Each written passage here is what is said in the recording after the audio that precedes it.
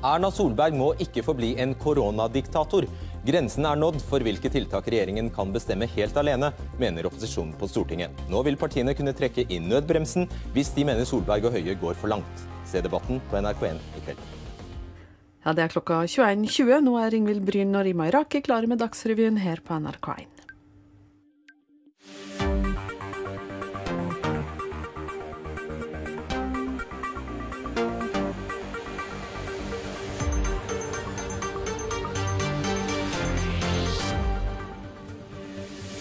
Dette er et angrep på Frankrike, sier den franske presidenten. Tre personer ble drept i Nis i dag. Frankrike frykter ny terror.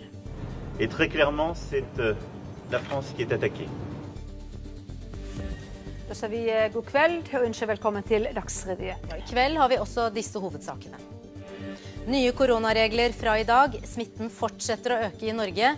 Regjeringen gir 7,3 milliarder kroner i koronahjelp til kommunene. Mandag tar en ny mann over jobben hans som konsernsjef i Equinor. Hva står igjen etter Eldar Sætre? Flere fotballprofiler reagerer sterkt på rasisme i breddefotballen, slik NRK har vist. Selv om ikke tallene viser at det er noe så mye tilfeller, så skal jeg love at det skjer omtrent ukentlig eller daglig i breddefotballen i hvert fall.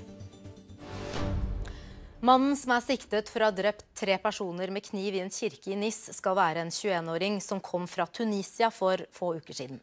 Ja, han kom via Italia, og i Roma er europakorrespondent Simen Ekern. Frankrike frykter nå nye angrep, og beredskapen er skyhøy.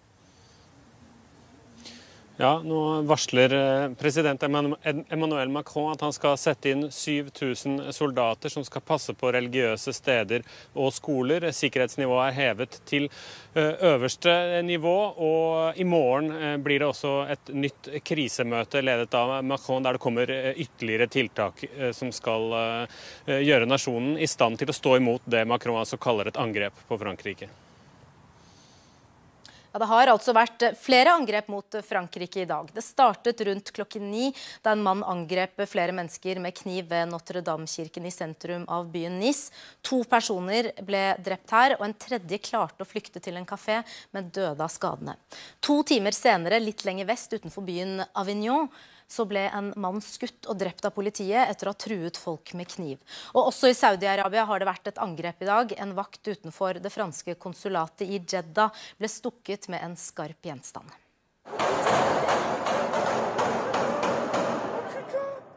Politiet tar seg inn i Notre-Dame-kirken i Nis. En mann bevæpnet med kniv har skåret over halsen på kirkevergen og en 70 år gammel kvinne. J'ai vu seulement que c'était la panique, que je suis revenu sur place, c'était bloqué.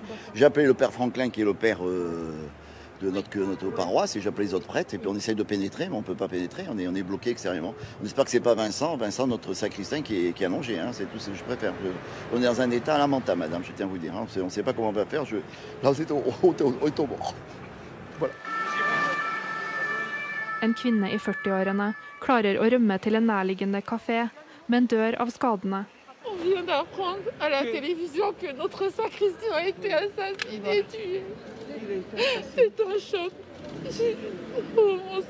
Je l'imagine, je le vois toujours, en train de marcher, allumer les bougies. Et là, on me dit qu'il n'est plus. Terroristen ble skutt av politiet og får nå behandling på sykehus. Ordføreren i NIS sier at angrepet var svært brutalt. Il ne fait aucun doute que l'auteur de ces actes, qui n'a cessé de répéter en boucle devant nous Allahu Akbar alors qu'il était médicalisé sur place, Frankrikes president Emmanuel Macron reiste i ettermiddag fra Paris til Nis for å besøke kirken hvor angrepet skjedde. Bien, mesdames, messieurs, une fois encore, notre pays a été frappé par une attaque terroriste islamiste. Une fois encore ce matin, ce sont trois de nos compatriotes qui sont tombés à Nice, en cette basilique Notre-Dame de Nice. Et très clairement, c'est la France qui est attaquée. Redaktøren for den franske avisen Nice Matin er i Nis i kveld og sier til oss at det er tydelig i gatene at beredskapen er hevet. Uh, well, listen, it's uh, it's a very very heavy feelings here in Nice tonight. Uh, the second uh, terrorist attack happened today in our city. Uh, the city still feels the the attack back in 2016. It's very raw. So today, having that attack occurred in the very center of our town, in one of our major landmarks, which is the Basilica Notre Dame, as well as the main street that is passing in front of it. It sends a message of terror. You were earlier uh, on the streets in Nice. Uh, what did you see there?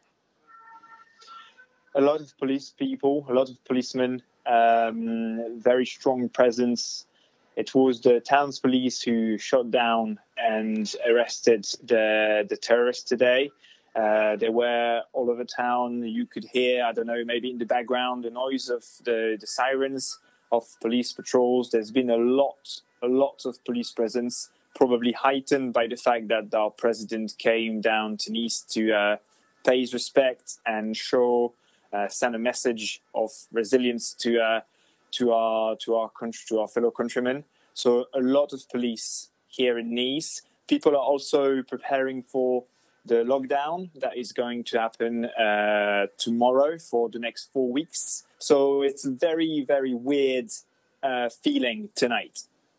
Dette intervjuet ble gjort for en time siden. Simen Ekern, hvordan blir dette angrepet i dag sett i sammenheng med drapet på læreren Samuel Paty? Vi vet jo fortsatt ikke om det er noen forbindelse mellom eh, gjerningsmennene. Vi vet ikke hva denne mannen som har kommet via Italia til Frankrike, har hatt for planer da eh, han kom. Eh, det man vet er selvfølgelig at dette finner sted bare ti dager etter at Samuel Paty ble drept. Men utover det så, så har man ingen klare indisier på, på sammenhengen mellom, mellom, de to, mellom de to groteske hendelsene. Hva kan du eh, si mer om eh, gjerningsmannen som altså overlevde dette?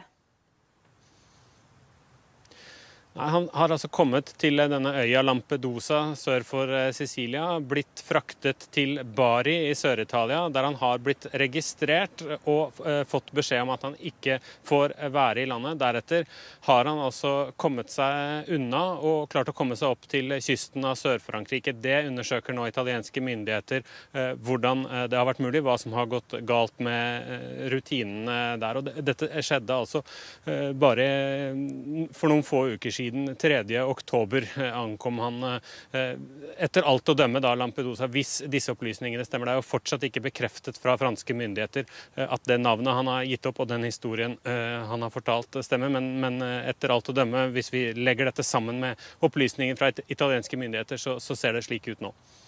Takk til deg, Simen Eke. Og da til koronasmitten her hjemme. Den har økt flere steder her i landet. Ja, I dag trådte de nyeste reglene fra helsemyndighetene i kraft. Det er ikke bare bare å følge smittevernreglene når man skal ta seg en kaffe. I dag ble de strengeste tiltakene siden pandemien startet i mars innført flere steder i landet. Det gjør ikke noe man må bare godta det. For eh, jeg vil ikke bli vekk for du hører, hører, alt som er i nå, smitte alt mulig. For det er ikke noe koselig. Det er ikke noe moro, altså. Jeg syns det er litt sånn ubehagelig å ha på seg, men eh, jeg kan ikke bruke briller, for du dogger. Men ellers så går det greit. Det er Oslo og Bergen som har de strengeste tiltakene. Der er det påbud om munnbind flere steder, bl.a. på kjøpesenter og kafeer. Vi måtte faktisk hjemover og hente munnbindene våre, fordi at eh, de krevde da munnbind på kafeen. Så det er jo en veldig rar hverdag. Altså, hverdagen var jo rar fra før, men det er nesten sånn det virker som at det er litt, litt mer merkelig nå. Um, ja. Jeg har fiksa det. det er alt, alt av hjemme bortekamper er avlyst i 14 dager. På Hamar var det barn og unge som måtte ta støyten for nye lokale smitteverntiltak i dag, når alle fritidsaktiviteter for de under 20 stoppes. Det er jo veldig kjedelig, da. Jeg har jo lyst til å spille håndball. Det er jo det jeg syns er gøy. Har du forståelse for at det er så strenge tiltak? Selvfølgelig. Man må jo, for at det skal åpnes helt igjen til slutt, så må man jo ta eh, forhåndsregler nå. Ringsaker kommune. Her vet de at smitteutbrudd og koronatiltak koster. Ordføreren har slått på NRK, for det er pressekonferanse. Eh, utgangspunktet for kommunen i dag er at eh, budsjettsituasjonen er krevende sånn som den er. Regjeringen skal fortelle hvordan de har tenkt å hjelpe kommunene økonomisk. Vel, Dette er jo kommunene selv som har vært med å lage en, eh, en, rapport som viser hva behovet vil være. Og så har regjeringen lagt en milliard på toppen av det, fordi vi tror behovet er noe større enn det erfaringene fra 2020 tilsier. Dette er jo 7,3 milliarder kroner ekstra for første halvår 2021. Regjeringen mener dette sikrer at ingen kommunale tjenester skal forsvinne som følge av koronapandemien. Men tilbake på rådhuset ved Mjøsas bredder er ordføreren ikke helt fornøyd. Hun frykter kompensasjonen ikke vil strekke til. Det de nå varsler i forhold til det som skal komme i 2021, vil jo ikke dekke de utgiftene når vi sammenligner med det vi har hatt i utgifter dette året her. Eh, så de må nok levere mer enn dette hvis vi skal fortsette å levere like gode tjenester som vi gjør. Ifølge Kommunaldepartementet vil det i inneværende år gjennom ulike økonomiske tiltak og overføringer bli gitt rundt 20 milliarder kroner ekstra til kommunene. Også i debatten skal det handle om korona. Grensen for hvilke koronatiltak regjeringen kan innføre på egen hånd er nådd, mener opposisjonen på Stortinget. Ja, for ikke bare kan Erna Solberg sette til side eksisterende lover og grunnleggende menneskerettigheter for å beskytte oss mot smitten, hun trenger heller ikke spørre hva Stortinget syns. Men dere, hvis 169 stortingsrepresentanter skal inn og pirke i hvert eneste tiltak, hvor effektiv blir bekjempelsen av viruset da? Selvfølgelig blir det bare verre da. Audun Lysbakken og co. må bare holde seg langt, langt vekke fra beslutningene om korona. Dessuten så er jeg lite eh, imponert over de tiltakene som er innført i Norge det er jo altfor lite strenge. Det må innføres mye, mye, mye hardere tiltak i Norge hvis vi skal bli kvitt koronakrisen. Lær av Frankrike, f.eks. Det viktigste er at smittetallene øker i hele Europa.